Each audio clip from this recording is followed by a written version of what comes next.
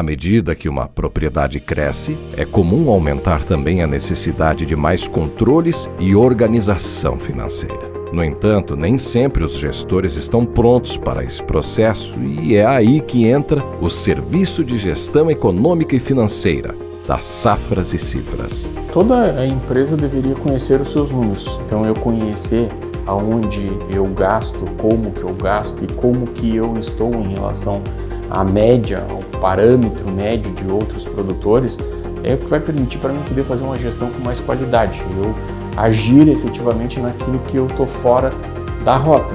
Eu acredito que o principal impacto quando a gente não sabe o que gasta, efetivamente é que a gente não consegue ter uma dimensão de quanto de recurso eu preciso para tocar uma safra. Se a gente está crescendo sem um objetivo que a gente tenha claro, a gente pode chegar em qualquer lugar.